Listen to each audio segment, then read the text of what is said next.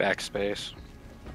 And unfortunately, Nope, I've nope, nope, nope. I fell through the wall.